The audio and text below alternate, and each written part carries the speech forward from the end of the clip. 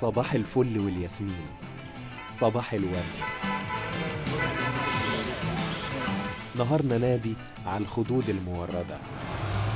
كلها مفردات بتعبر عن عمق تأثير الورد وارتباطه بحياة المصريين اليومية. إيه الألوان الكتير دي كلها؟ بكل التنوع في الألوان والأشكال والعطور يستطيع هذا المخلوق الرقيق التعبير عن انفعالاتنا ومشاعرنا ومناسباتنا. فما بين المحبين والمتهادين وأصحاب الذوق الرفيع هناك دائما زهرة. الورد في مصر له بعد آخر مرتبط بزراعته وحجم تجارته وبحكايات الناس اللي شغالة فيه. فبحسب اتحاد منتجي الحاصلات البستانية الفدان الواحد التصديري بينتج ما يعادل 35 ألف يورو سنوياً.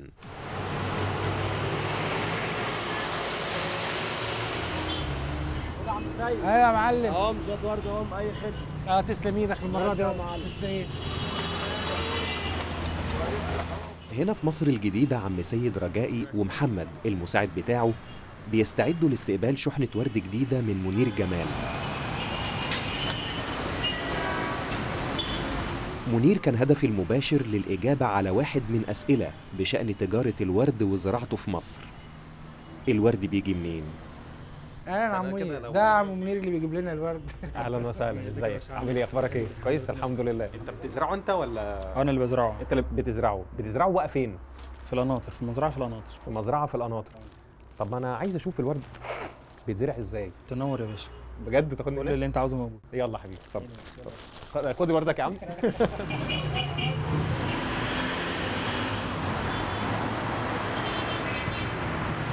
هو إيه نايم من كتر اللف ولا إيه؟ بالتعب يا باشا بنلف كتير. السلام عليكم. اتفضل اصحى يا عم.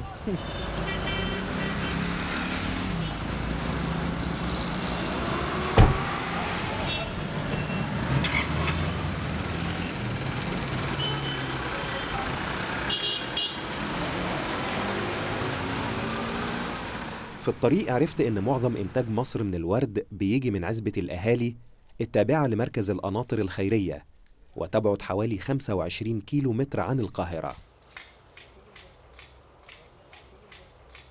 أهلا بكم في مزرعة مصطفى جمال وإخوته للورد.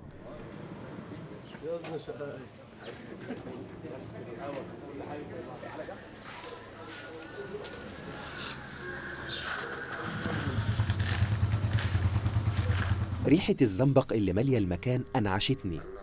وبقليل من الملاحظة كانت تفاصيل المكان بتعبر عن علاقة خاصة بين مصطفى جمال الأخ الأكبر لمنير والقائم على شؤون المزرعة وبين الورد. لكن الهدوء الملهم قطعوا صوت خناقة بين عم عبد النبي أقدم عمال المزرعة مع واحد من الموزعين.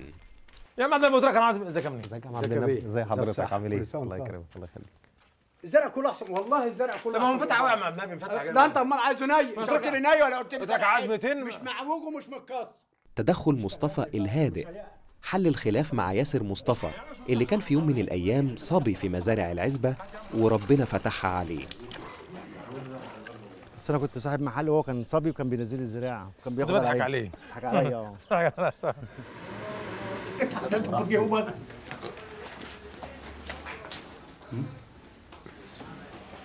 اللي كانت مفتحة.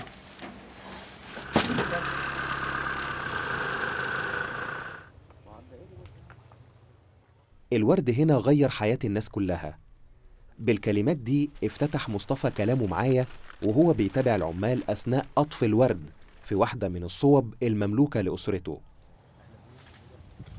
والد مصطفى الحاج جمال هو أول من أدخل زراعة الورد في عزبة الأهالي في نهاية السبعينيات. أول واحد حزب الاهلي يزرع ورد جمال عبد الله.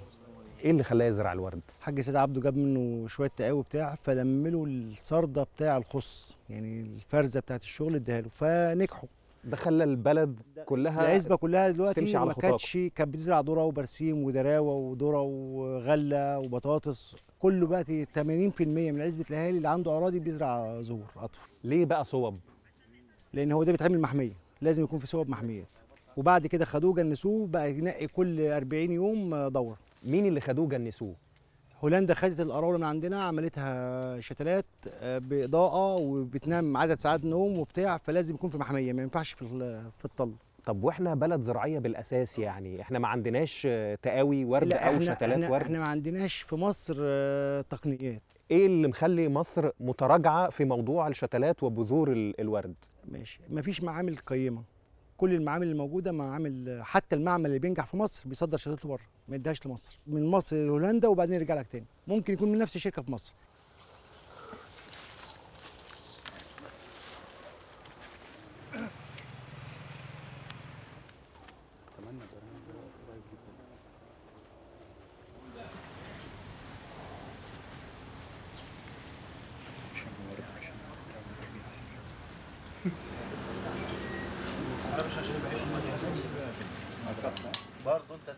وقت الراحة. له طعم مختلف بين العمال. القاسم المشترك ليه هو لقمة العيش اللي بيقسموها مع بعض وبيشاركوا فيها ضيوفهم.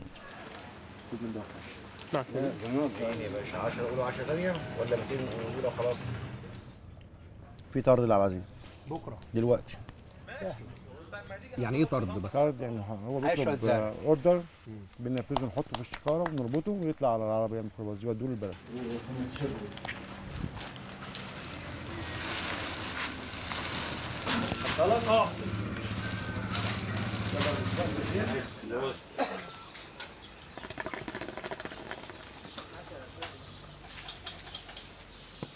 بعد الأكل دور الشاي الذي لا غنى عنه.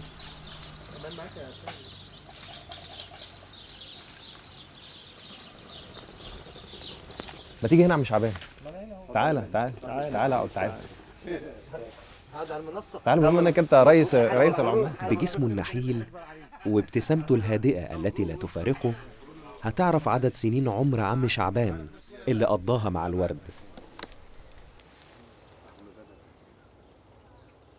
30 سنة يزرع الورد ويقطفه. يعني ممكن أشتغل عند واحد زي الحاج مصطفى وأنقل على واحد زي حضرتك زي التاني زي التاني.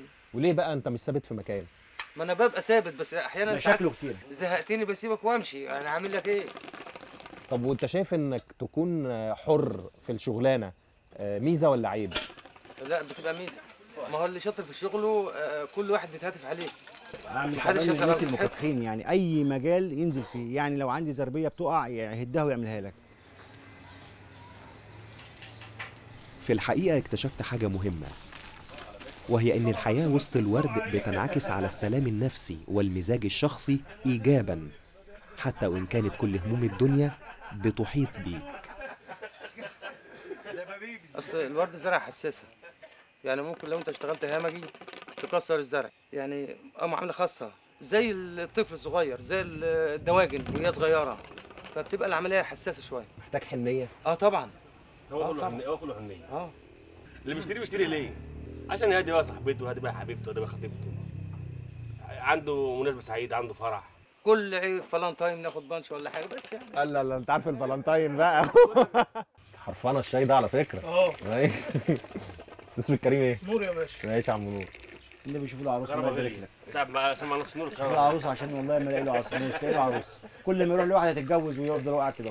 واقف واقف لسه نصيبه ما هي- هينادي عليه. لسه ما بحث نور عن عروسة بيؤشر للتأثيرات المباشرة وغير المباشرة لاقتصاد الورد على عادات وتقاليد عزبة الأهالي وعلاقتهم الاجتماعية ومستواهم المعيشي. بعد قليل. حلو الشاي تسلم إيدك يا نور. الله يكرمك. مظبوطة. لا مظبوط. تمام.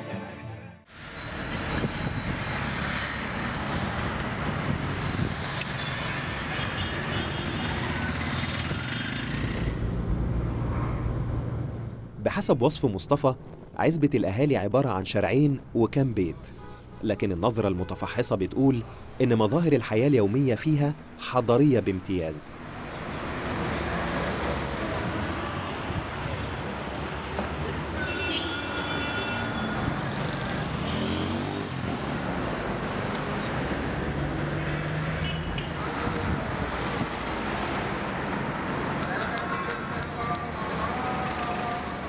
اقتصاد زراعة الورد بينعكس على أسلوب المباني في البلد اللي المفروض مصنفة على إنها عزبة صغيرة.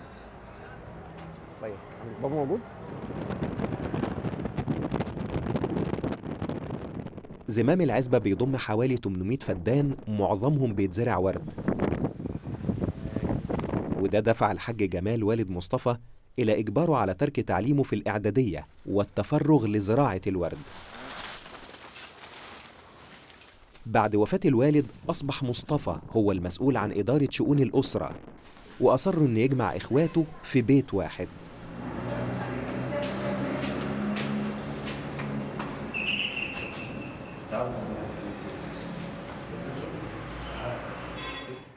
في اعتزاز بقيم العيلة أنا معلق صورة عمك؟ عمي وأبويا وستي الثلاثه مع بعض هم وكل واحد لوحده. كده يعني. والدة مصطفى هي عمود البيت لا تستغني أبدا عن عدة الشاي اللي هي طقس مهم جدا في حياة سكان العزبة. كلمني أكتر عن اقتصاد زراعة الورد. هو الناحية الاقتصادية. الورد الأول من حوالي بالظبط خمس سنين كان كان فيه ربح جامد ومكسب حلو. لما الأدوية انضربت بقيت تجيب الدواء مرة واثنين وثلاثه عشان تعالج مرض لكن ما فبدأت المصاريف تبقى أكتر من الدخل. مع كتر الناس بقى ما زرعت دخلت فيها فبقت المنتج بقى متوفر بقى موجود. فما بقاش ليه سعر زي الأول. أنا عايز أعرف هنا آه، يعني عادات ال- ال- الجواز و- والخطوبة والشباب وال- والناس هنا هل هي مرتبطة بزراعة الورد وباقتصاد الورد؟ يعني مثلا في الأرياف العادية يقول لك مرتبط بالقطن ومواسم زراعة معينة. لا هنا هنا شغالة إزاي؟ يعني أنت شغال في البترول وربنا يوسع عليك بتجيب لبنتك بقى اللي تقدر عليه ال- الولاد؟ المهم الذهب. طب أنا عايز أعرف ال- بالنسبة للتعليم آه، هل الناس بتفضل إنها تعلم ولادها ولا توديها آه، مزارع ال- الورد تشتغل فيها؟ لا ولا هو ممكن يعملوا في الاثنين الأجازة في الأجازة بتنزل كل مثلا عندها ولدين ثلاثة بتنزلهم يشتغل. مش لازم بقى يشتغل في شغلانة الورد في أي مهنة المهم يدخل دخل.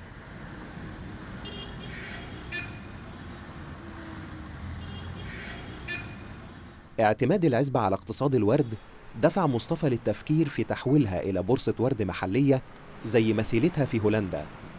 لكن المسألة لم يكتب لها النجاح بسبب تضارب مصالح المزارعين. هي لو بورصة الورد اتعملت هنا في العزبة آه تفيدنا. إزاي؟ تفيدنا في حاجات كتير. أنا هنتج وماليش دعوة بالتسويق. يبقى أنا شغلتي إن أنا هركز في الجودة والإنتاج الصح. وأنت بقى شغلتك أنت بتيجي تاخد مني البضاعة على البورصة وأنت تبيعها. بتجيب لي فلوسي ماليش دعوة أنا بقى. إنما هنا دلوقتي الغلطة في إيه؟ إن أنت بتزرع. وأنا بزرع والراجل ده بيزرع وده بيزرع وده بيزرع وكل ده بيحمل يروح مصر.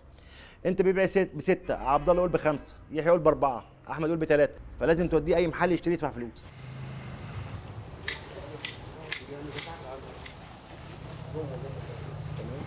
الشغل في عزبة الأهالي مستمر طول الوقت. بالنهار ناس تزرع الورد وبالليل ناس تانية تصدره.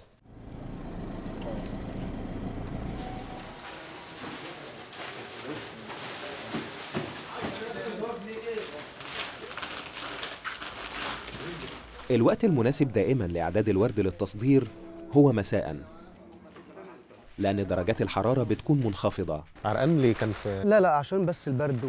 الواد ده بيتنفس إزاي زي.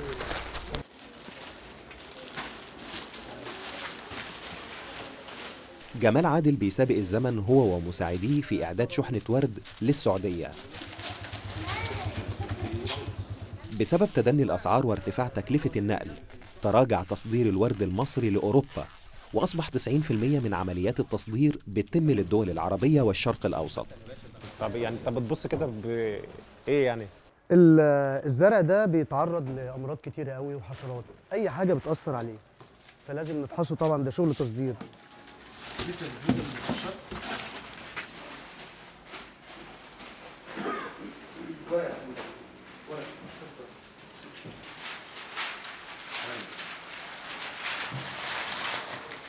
جمال حاصل على ليسانس آداب وبيشتغل من 15 سنة في الورد وأصبح مشرف جودة في واحدة من شركات التصدير. بحسب جمال مش أي حد بيزرع ورد عنده القدرة على تصديره لأن العلاقات مع المستوردين بتحكم المسألة بالإضافة للتجهيزات الفنية المرتبطة بالتصدير. الكرتونة دي آه، بيبقى قدامها وقت قد إيه عبال ما توصل للمطار وبعد كده توصل للمستورد؟ الموضوع كله بياخد مثلا تعبية حوالي ساعتين على ما نعبي الشحنة. وفي الطريق بتاخد لها مثلا ساعتين. وفي المطار مثلا خمس ساعات. يعني كله حوالي 10 من 10 ل 12 ساعة. ده بيحطك تحت ضغط أنت والناس اللي شغالة معاك؟ طبعا. بنشتغل في شغلانة رفاهيه فالحاجة دي لازم نتأكد من سلامتها 100% لو اتأخرت في إجراءات المطار إيه اللي يجرى لشحنتك أو لرأس مالك أو لاستثمارك؟ ال- طبعا يبوظ طبعا الكراتين الورد لو غاب في الكرتونة فترة طويلة يبوظ يعدم. تصدير الورد مجدي اقتصاديا؟ الأول كان مجدي. آه، دلوقتي في نظرا لارتفاع الأسعار آه، الخامات كلها زادت البلاستيك زاد خامات الإنتاج الرش كل حاجة زادت. فيا دوب وإحنا لينا منافسين كتار جدا يعني. إيه تأثير. المنافسة على تصدير الورد؟ إحنا ممكن مصر خال... تقف خالص من تصدير الورد لو ما الأسعار ما اتظبطتش. لأن في دول تانية بتودي نفس المنتج بتاعنا وبأسعار معقولة جدا. طب أنتوا ما حاولتوش تطوروا نفسكم عشان تواجهوا عملية المنافسة دي؟ الحكومة المفروض بتدينا دعم. بس إحنا عايزين الدعم ده يبقى آه، في النولون. إيه النولون ده؟ النولون اللي هو المصاريف بتاعة الشحنة اللي شركة الطيران بتاخدها. لو الحكومة ادتنا ال- الدعم نولون خصم من نولون أفضل. هتساعدنا. الصين بتعمل كده على فكرة. عارف اللزق أنا- والتحميل. أنا مبسوط من حاجة تمام. إنه إنتاج مصر. إنتاج مصر. جمهورية مصر العربية. جمهورية مصر العربية. القناطر الخيرية. تمام. أنت بيبقى إحساسك إيه لما ال- الجملة دي بتبقى موجودة في أي مكان من الدول اللي الورد بيروح لها؟ أنا راجل مصري يعني بحب اسم مصر يبقى عالي جدا يعني في أي حتة. بحسب اتحاد منتجي الحاصلات البستانية إجمالي الصادرات المصرية من زهور القطف تمثل 2 من 100% من إجمالي الصادرات العالمية للزهور ودي من وجهة نظرهم نسبة قليلة جدا. ممكن تزيد في حال استغلال الميزة المناخية لمصر في أنواع معينة من الزهور زي الورد البلدي والليليم بعد قليل.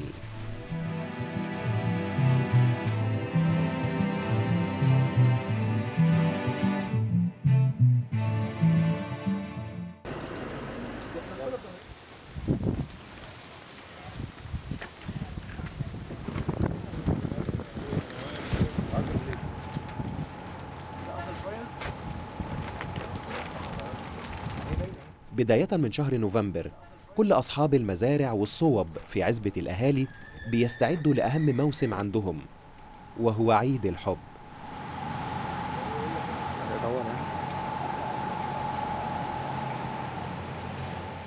هنا يتوج الورد البلدي على عرش الورود. الورد البلدي الميزة فيه إنه الورق بتاعه ناعم جدا أكنك بتلمس قطيفة. الملمس الناعم للورد البلدي والشكل المميز لزهرته وكمان ريحته الجميلة المنعشة تجعلها الوردة الأكثر تفضيلاً لعموم المصريين. الورد البلدي بيحتاج لمعاملة خاصة لأنه حساس جداً. عشان كده بيتزرع في صوب مكيفة لضبط درجة الحرارة والرطوبة عند المستويات المطلوبة.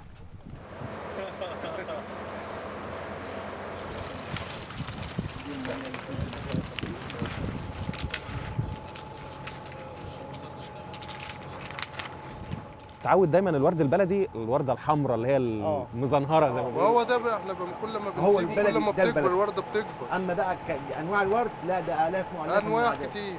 في ألوان تانية من آه، ال- من, من. البلدي؟ في- في روز فاتح وروز غامق. الروز ممكن يكون ست ألوان. الأحمر حوالي 8 ألوان. أنواع وأسامي مختلفة. أكتر أنواع الورد إصابة هو الورد البلدي. بيصاب بإيه؟ بيصاب مرض أخطر مرض اسمه الفيوزاري. البياض الزغبي دوت بينزل في الصوبة لو نزل في الصوبة الساعة 6 الصبح الساعة على الساعة 4 آخر النهار ما تلاقيش فيه ورقة ولا جرد يجرد ورقه. ولا ورقة في يجرد ورقه. ده أخطر مرض في بيعمل التهاب. عشان كده الورد البلدي حساس. عشان كده حساس وبنزرعه في صوب مكيف. مش أي حد يشتغل فيه الورد عشان البلدي كده مش أي حساس حد. وبيتزرع في صوب. مكيف. سامحين إن إحنا نقطف دي؟ سامحيني. مصر بتواجه منافسة شرسة من دول أفريقية بتنتج الورد البلدي بتكلفة أقل وبجودة أعلى لأن الزراعة هناك على مرتفعات. فكلما ارتفعنا عن سطح البحر تكون الزهرة أكبر.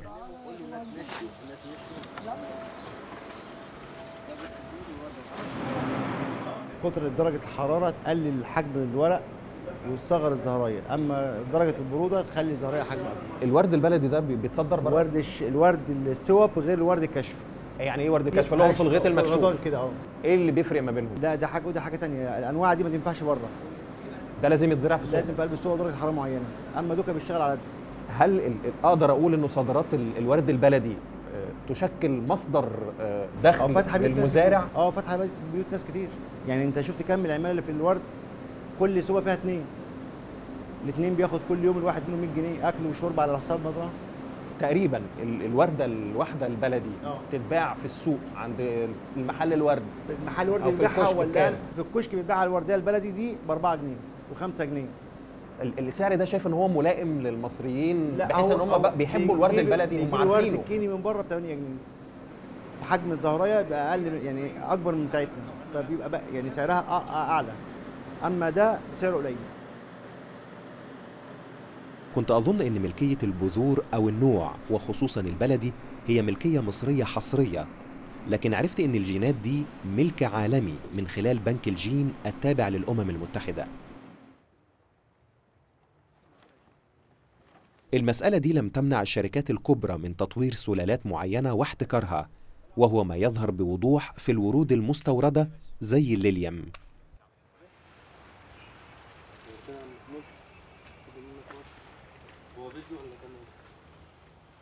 أحمد حسن ورجب علي شغالين في مزارع بتستورد بذور الليليوم من هولندا ومع تحرير سعر الصرف تأثرت دورة الإنتاج عندهم بشكل كبير مما أثر على دخلهم. أحمد أنت آه، بكالوريوس تجارة. تمام. إيه اللي خلاك بقى ما تدورش على شغلانة مثلا تناسب مؤهلك وتزرع ورد؟ أنا بزرع ورد من قبل ما أخلص بكالوريوس. طبعا الشغلانة ديت وراثة وكده تسع سنين. فقلنا يعني على حد ما ربنا يكرم.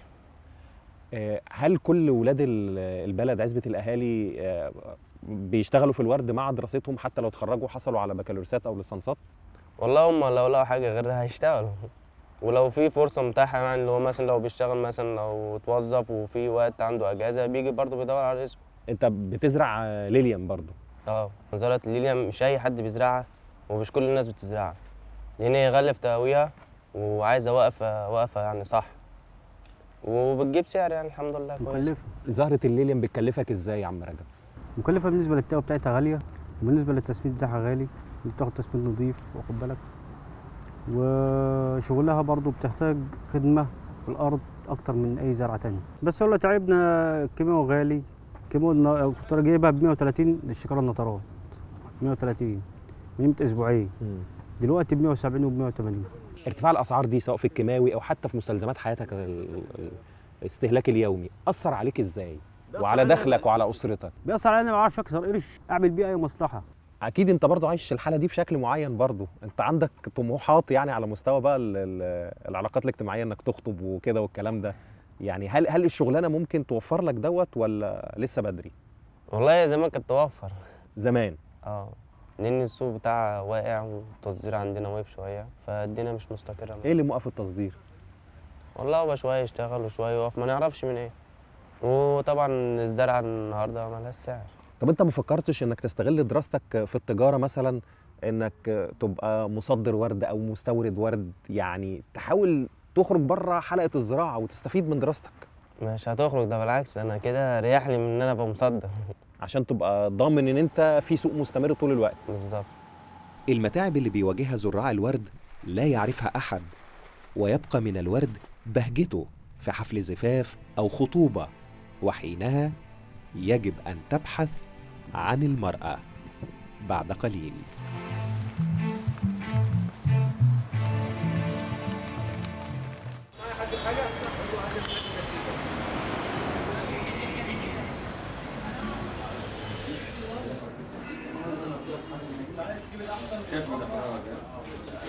من أكتر المناسبات اللي بيلعب فيها الورد دور البطولة في حياتنا هي تلك المرتبطة بالحب حيث يظهر الحب بوضوح وبشكل مبهج في حفلات الخطوبة والزفاف.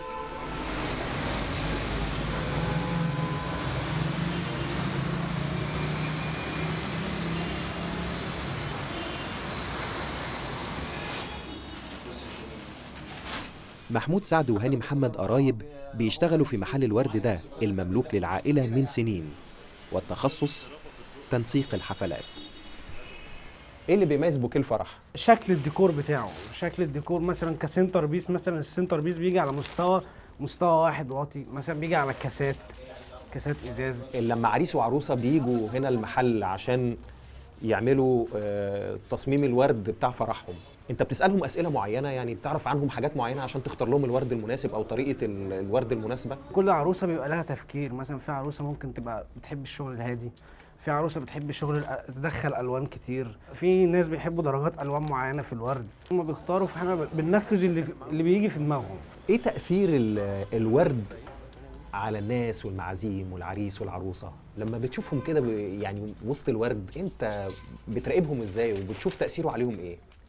طبعا الورد بيدي تفاؤل وفي حالة نفسية بيدي حالة نفسية كويسة طبعا إن هو يعني حاجة طبيعية كده بتدي بهجة ومع مع التصوير بيبان كل الكلام دوت وكده كده الفرحة بتاعت ال- الفرح وكده ده كل دوت بيأثر مع بعض يعني. إيه أكتر حاجة اسعدتك ومأثرة فيك انسانيا؟ يعني بعد فرح معين لقيت حد مبسوط و... وأنت اتبسطت؟ العميل طبعا بيقعد يتأمل في ال- في الديكوريشن بتاع الفرح. فشيء طبيعي انت بتتأمل في قدرة الخالق جل وعلا في الألوان الطبيعية في الزهور في في جميع أنواع الورد فبالتالي ما فيش أي بني آدم يكره هذا الموضوع.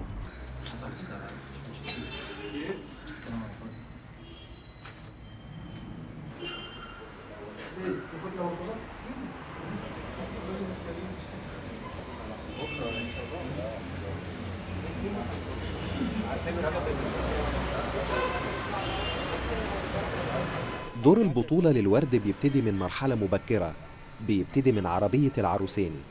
عشان كده محمود وهاني بيبتكروا طول الوقت تصميمات للبوكيهات تراعي لفت الانتباه في الشارع.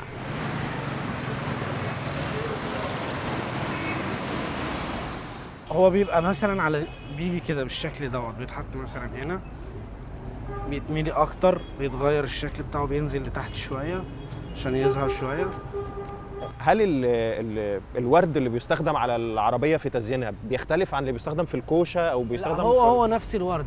كل الورود بتستخدم في كل بس بس بتختلف مثلا طريقة التزيين ذات نفسها. آه، العربية لما تيجي تزينها بتبقى أنت بتتحدى نفسك إنك تطلع كل مرة جديد ولا طبعاً. كل العربيات زي بعضها؟ حضرتك ال- ال- المهنه الورد دايما لازم كل شغلانة لو العميل إداني فرصتي بطلع فيها جديد لازم. لأن لو ما طلعتش جديد مش تبقى مش تنفع في شغلانة الورد. هو تزيين العربية الواحدة تقريبا ياخد آه، آه، رينج فلوس قد إيه؟ من كام لكام؟ 50 100 وأنت طالع حسب نوعية الورد اللي بتتحط فيها. بس طبعا الفكرة ذات نفسها بتختلف حسب السعر لأن الإمكانيات الورد بتشجعني إن أنا أطلع فكر كويس.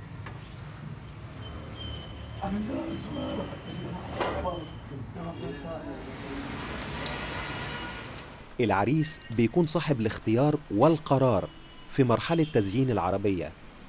ثم يبدأ نفوذه في التراجع تدريجيا لصالح العروسة عند مناقشة تفاصيل الورد المستخدم في تزيين الكوشة.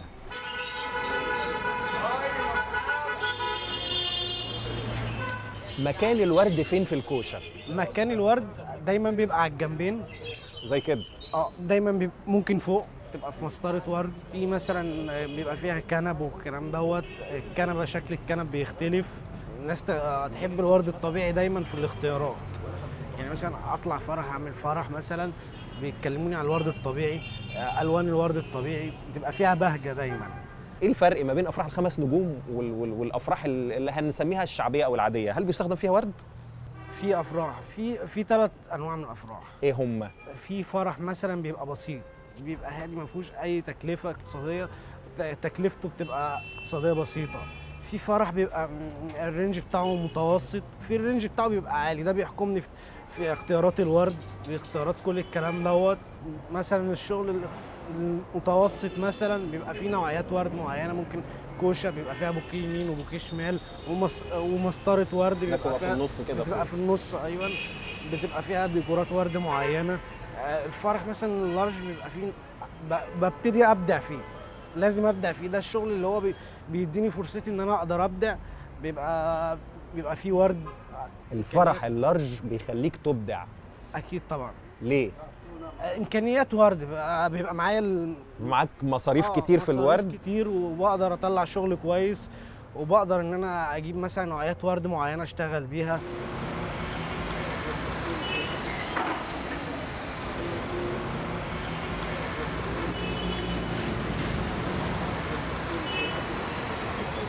ثم تأتي المرحلة التي يختفي فيها تأثير العريس تماما ويتراجع أمام تكتيكات العروسة المعتمدة على الدلال.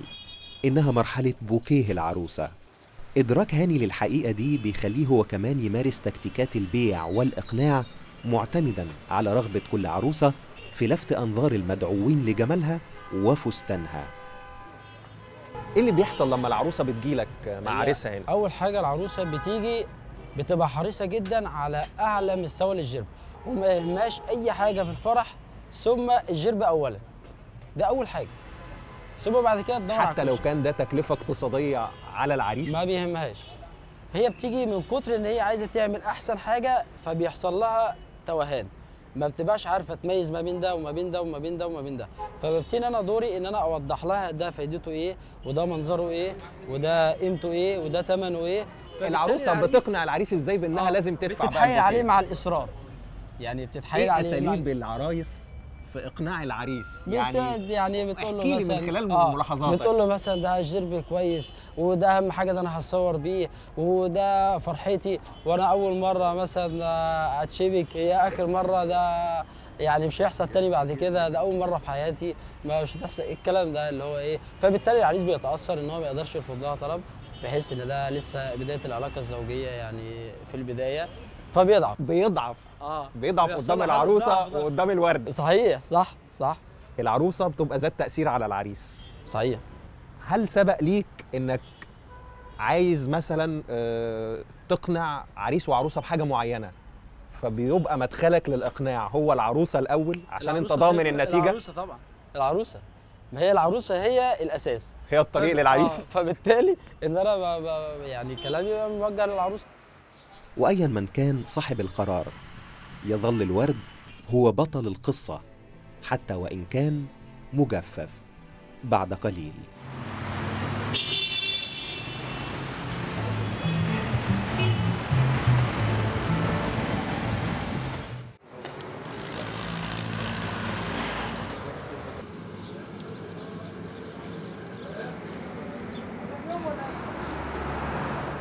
البحث عن مصير الورد بعد استخدامه وصلني للمناشي بمحافظة الجيزة. هناك قابلت عم حافظ صاحب ورشة للورد المجفف.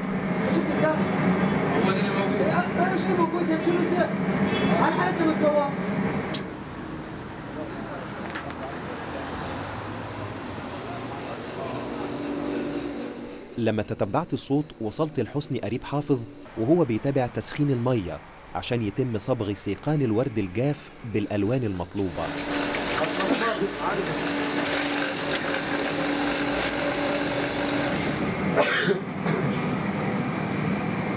عرفت من حافظ وحسني إن العملية تبدو بسيطة في مظهرها لكنها بتحتاج صنايعي فاهم عشان خلط الأصباغ للحصول على اللون المناسب وعشان الساق تاخد الوقت المناسب لثبات الصبغة عليها.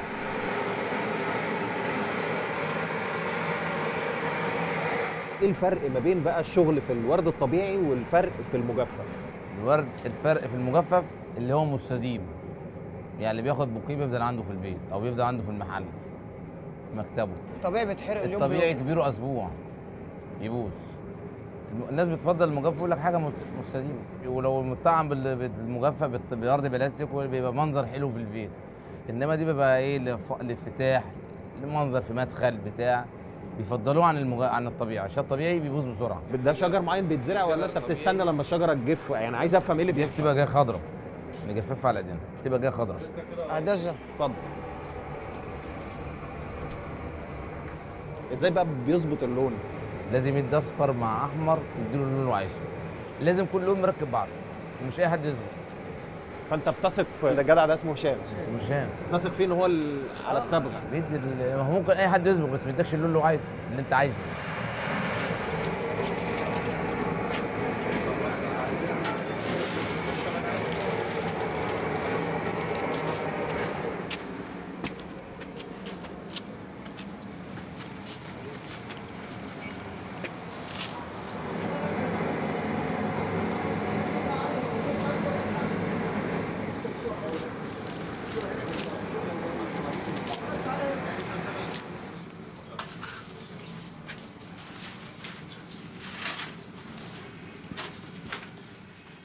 إيه هي مواصفات الناس اللي بتشتري الورد المجفف؟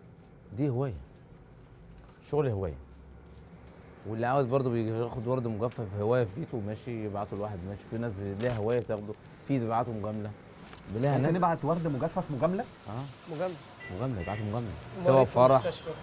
سواء في بيت سواء في مناسبه كتب كتاب سواء افتتاح محل. يبقى مناسبه كلها شغل مناسبات بحس ان ال- الورد العادي بيبقى فيه حياة. لكن الورد ال- المجفف إيه وجه الجمال فيه؟ وجه الجمال فيه هو فرحان بالسنبلة القمحيه ديت. طالع من الأرض ما هو مش كل يوم يروح الأرض يشوف ورد إنما هو كل يوم في الورد بيشوفه قدامه. ومناسبه متعدده إنما هو بي- بيفرح بالسنبلة القمح عود الجري- الجريد اللي هو الساك الزوات قدامه مناسب طوالي بيحس ورد ورقة النخل دي اللي بتبقى مزروعة ديكور. حس الحياة بره. هي معاه جوه بت- بتجفيف وموجودة معاه طوالي. إنه المنتج بتاعك بيقعد عند الزبون سنة وسنة ونص فعشان يحتاج جديد. ده بيخلي الشغلانة بتاعتك في تجديدات كتير. إيه التجديد؟ أروح أنا مديله جديد تاني. يعني اديته للصنبه دي النهارده أروح أشغله له صنبه تانية. دي شكل دي منظر ودي دي منظر. فورمه دي فورمة دي أروح مغير له الفخارة. يعني أنت تروح م... م... آه لاعب مديله الشكل الجديد ده. أروح مديله الشكل الجديد. يبقى دي دي قديم. فهو يعني تخلق أنت بتخلق الطلب بنفسك نفسنا. على الشغل. اغير اللون كل نفسنا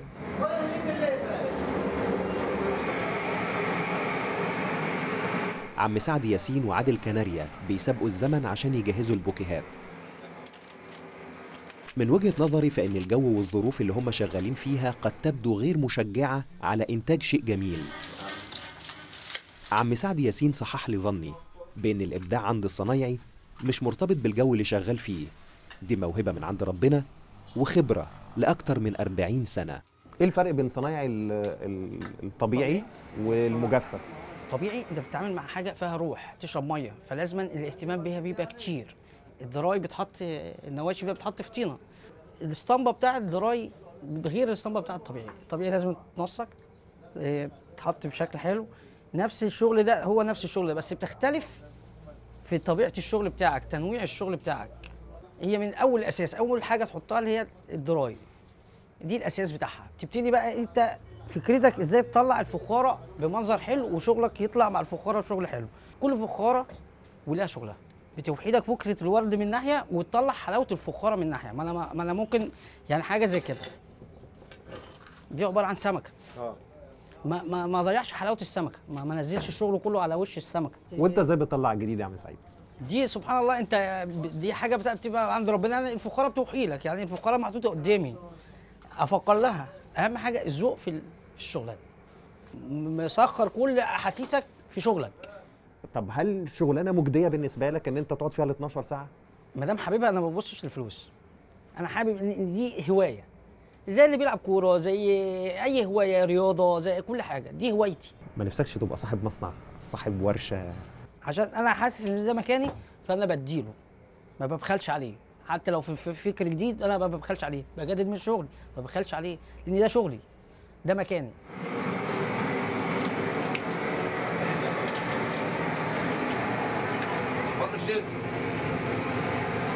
في المقابل عادل كناريا ليه أسلوب في التعامل مع الورد المجفف وفلسفة خاصة في الحياة. أنا بحبب ابني في الشغلانه بس هو غاوي التعليم. ليه بتحاول تحببه في الشغلانة؟ لأن حاجة أنا بحبها. دي حاجة اتولدت إن أنا يعني بعشقها بحبها يعني ما أقدرش أستغنى عنها. بيبقى إحساسك إيه لما تشوف الحتة دي راحة؟ ممكن تكون آه، في إيد حد من الناس. أنا ببقى سعيد جدا بحيث إن هو إن أنا إيه عايز ابدع حاجات أكتر. ليه بقى؟ بالنسبة للزبون بقى يحتاج اللي هي المجفف على أساس إن حاجة هياخدها يحتفظ بيها هتعيش عنده. وفي زباين بتحتاج تقول لك إيه أنا ممكن آخد الحاجة ديت. آه لو وديتها لمكان فلان وفلان ده ما يحتفظ بيها يبقى فاكرني. ده الناس تفضل فاكرة بعضها. ده يفضل في لكن أنت منسي. محدش عارف إن. أنت اللي عملت الجمال ده كله. لا أنا مش منسي. ليه بقى؟ عارفين إن الشهور ده تبع مين؟ تبع المعلم حافظ. خلاص شكرا. أنا يعتبر أنا المعلم حافظ. المثل بيقول إن دبل الورد ريحته فيه بعد قليل.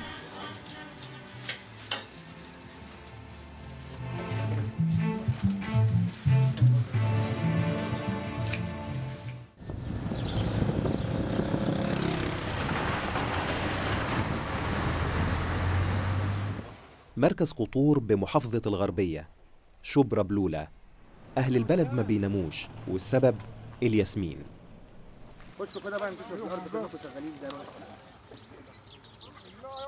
عم رضا درويش وأبنائه وقرايبه بيصحوا قبل الفجر يوميا لقطف الياسمين ولغاية ساعات الصباح الأولى لأن ده الوقت الوحيد المناسب للقطف. حالة الدأب دي خلت قرى قطور وبسيون بالغربية لهم شهرة عالمية لأنهم بيصدروا 50% من احتياجات العالم من الزيوت العطرية خاصة عجينة الياسمين وزيت الياسمين. بحسب عم رضا المشقة دي لا يقابلها العائد المادي المناسب بسبب الاحتكار. إيه المميز فيها اقتصاديا في الزراعة دي؟ المميز اقتصاديا هو أحسن من أي زرعة دلوقتي. عندنا منع وعندنا الرز والذرة ما بيجيبش. الأرض بتزرعها وذره ما بتجيبش بتصرف. والاسمده غاليه يعني السماد عالي. وهو الزرعة الوحيدة اللي بتدخل دخل بسيط للفلاح يعني دخل مباشر. الدخل المباشر ده بيحصل إزاي؟ بيحصل إزاي؟ إن فيه يعني إحنا بنجمعه ده هيجمع دلوقتي. فيه بيجي في- بيننا وبين المصنع في حاجة اسمها مجمع. وبيجي ياخده مثلا ب 30 جنيه أو 27 جنيه. واخد بالك؟ هو بيوديه المصنع مش عارفين بكام. حالة الاحتكار دي أيوه. آه، إزاي ممكن تتكسر من وجهة نظرك؟ حد يعني تكسر إن ما فيش يبقى ما فيش مجمع. يعني عايزين السعر يرتفع بحيث إن يبدأ يبقى مقابل لأنه مجهد مجهد جدا. طب المصانع دي المفروض إنها بتعمل عطور والعطور المفروض إنها صناعة مربحة. العطور هو بيصدر بقى عجينة يعني حاجة كده اسمها عجينة ده بيصدر للخارج بتروح فرنسا وبيروح الهند وبيروح الحتت دي. من وجهة نظرك كمزارع أيوه. إيه أهم ال- التحديات اللي بتواجه الزراعة دي؟ أيوه. وإيه المطلوب عشان الواقع ده يتغير للأحسن؟ حضرتك الأول الأسمدة سعرها عالي. تاني حاجة المبيدات ده بيعوز رش وحاجات من دي برضه سعرها عالي. سعر الياسمين واطي بالنسبة لنا والمجهود اللي بيتعمل سعر الياسمين مش مش كتير.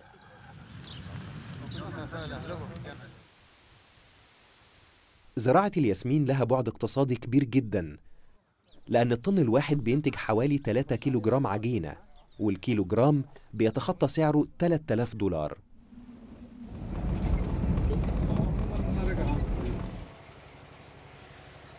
البحث وصلني لواحد من المصانع المتخصصة في الزيوت العطرية. المصنع في حالة صيانة استعدادا للموسم الجديد.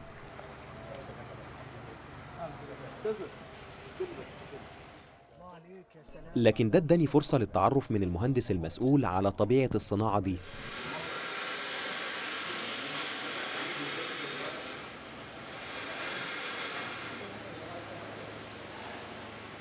وكنت على موعد مع مفاجأة صادمة بالنسبة لي وهي إن تراجع الدولة عن هذه الصناعة أدى إلى ممارسات احتكارية واضحة.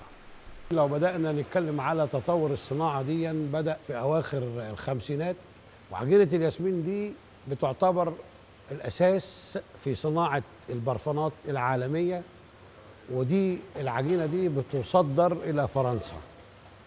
ما- ملهاش استهلاك محلي هنا في مصر. عشان إحنا ما عندناش صناعة عطور. عندناش إحنا الصناعة بتاعة العطور وعلشان كده بتتصدر إلى فرنسا وده يعتبر البيز الأساسي بتاع صناعة العطور العالمية في فرنسا.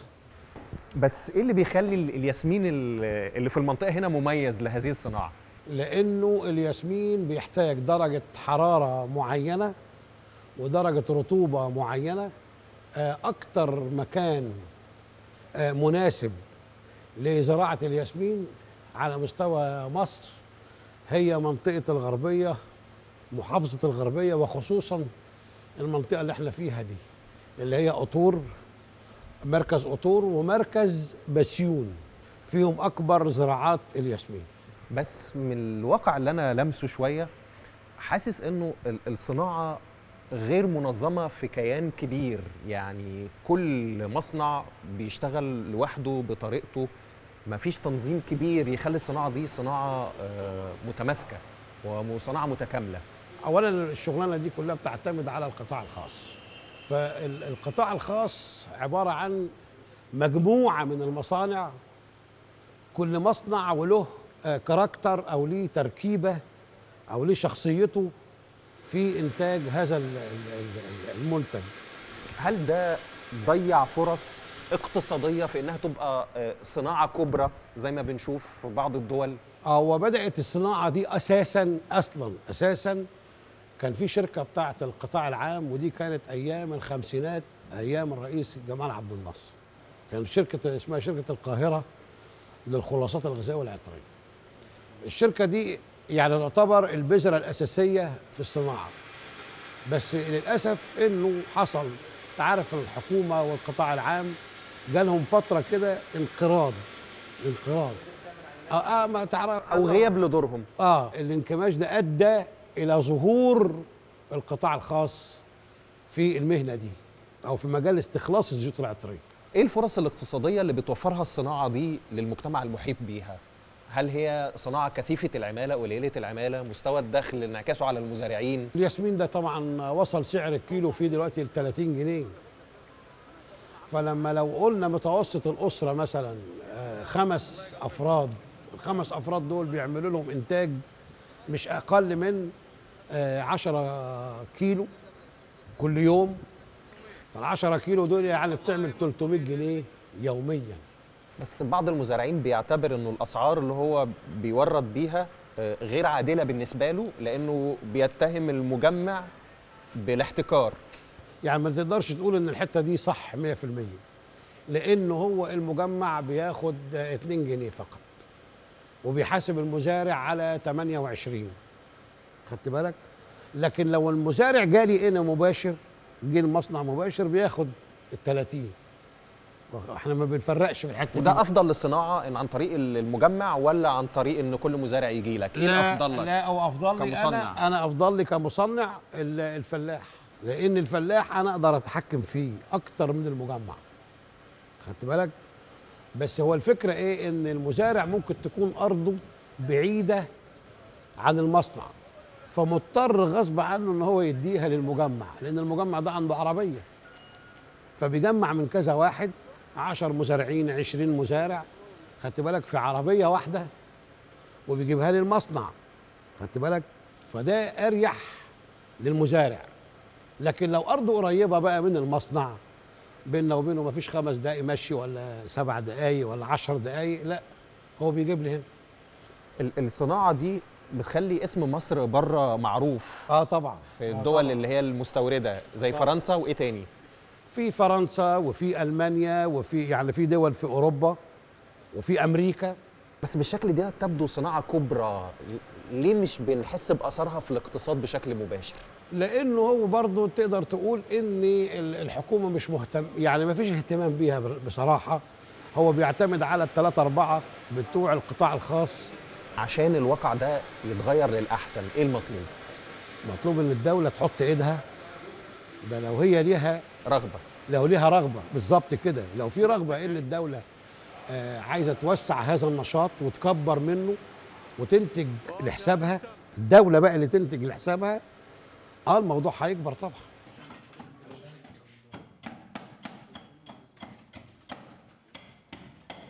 خلال رحلتي اكتشفت إن رعاية الورد مسؤولية. ما هو ده حاله؟